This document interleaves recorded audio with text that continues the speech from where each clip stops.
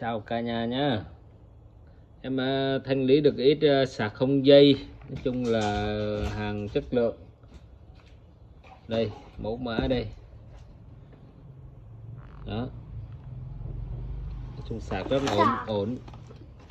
Đây nó ờ, sạc từ nè pho là từ iPhone ờ, 8 nè. 8 Plus nè. iPhone X nè Android nè những thiết bị Android à, có hỗ trợ sạc à, không dây thì mới sạc được nha. Còn mà những cái thiết bị mà Android mà không có hỗ trợ thì không có thể sạc được. Nó có à, cái đế nè, cái sợi dây nè. Đó và các bác cắm vô. Cái bàn làm việc thì đây. Đây là cái iPhone 8 Plus các bác ờ, có thể ờ, để cho nó nằm ngang nè. Nằm ngang là sạc cũng được nè. Đó, nằm ngang nè. Sạc ok nha. Rồi kéo lên. Bỏ cái này ra. Thì mấy bác ờ, muốn xem phim có thể là để nằm ngang mà sạc. Để vậy đó, đây.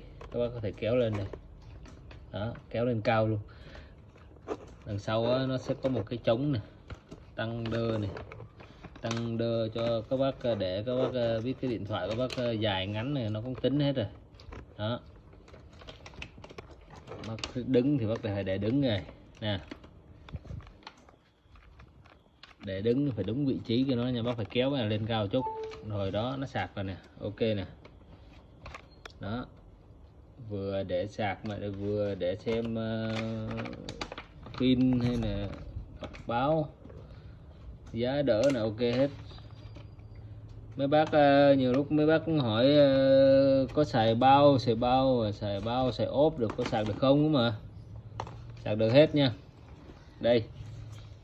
Chiếc này là chiếc 13 và dồ mắt các bác có thể ờ, sạc được luôn khi bác vẫn còn đeo bao nha. Đây tại vì cái này cũng không có, nó chưa tới đó. Rồi. Sạc á. Như vậy á, là cái thiết bị của bác à, không có bị à, thứ nhất là cái chân này nè.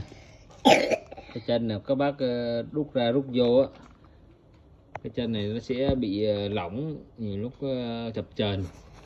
Còn các bác sạc cái này nó chỉ dùng cái lưng nó sạc thôi dùng cái lưng nó sạc thì ờ, nó cũng không ảnh hưởng tới cái chân của thiết bị đâu. Đó. À, bác uh, Nguyễn Tiến Tùng là mình lấy một cái nha. Bác gửi em một cái này nha cái đó. Ừ. đó. Mà sạc cái này nó cũng nói chung là vô nó dòng điện nó ổn định nè chứ nó không có phải là sạc nhanh. Đó điện vô bình thường nè, đó. Theo dõi hết rồi, ok nha. Ừ. Rồi bác nào có muốn mua ờ, số lượng gì bán thì cứ để lại ờ, hoặc là inbox cho em. Còn ờ, mấy bác mua lẻ thì cứ inbox à, cứ để cái số chấm dưới đi rồi có nhân viên nó tự check liên hệ với bác để chuyển chuyển hàng nha. Số lượng còn ít lắm số lượng cái này chắc còn khoảng còn chừng 50 cái nữa. Cảm ơn các bác đã quan tâm nha